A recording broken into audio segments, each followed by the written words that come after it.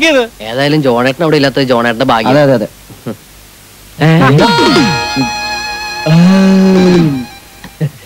ദാഹശമനം. അവിടെ മുങ്ങി ഇവിടെ പൊങ്ങി. അത് തണ്ട എബ്രഹാം ജോൺ. അത് നന്നായി. ഇല്ലെങ്കിൽ അവന്മാര് ശരിക്കും സാമ്പിൾ ഇട്ടേനെ. വിപ്ലവകരമായ ഓരോ മാറ്റത്തിന്റെയും പുറകിൽ മർദ്ദനത്തിന്റെയും ശകാരത്തിന്റെയും കഥകൾ ഏറെ ഉണ്ടാവും. കുടുംബ സദസ്സുകളിൽ കുടുംബം ഒരു കാതൽ സെക്സ് ഒരു കാതലാക്കി മാറ്റാൻ കഴിവുള്ള വേറെ ഏത് ഫിലിം ഡിസ്ട്രിബ്യൂട്ടേഴ്സ് ഉണ്ട് ഈ സിറ്റിയിൽ Tell me. അത് ശരിയാ. സെക്സ് ഒരു കാതൽ ഇടി ഒരു കാതലായി മാറിയത്. അതെ. എടാ നീർക്കോലി നിന്റെ കരുനാക്കൊണ്ടൊന്നും പറയാതെ. നിനക്കൊക്കെ അറിയാമോ?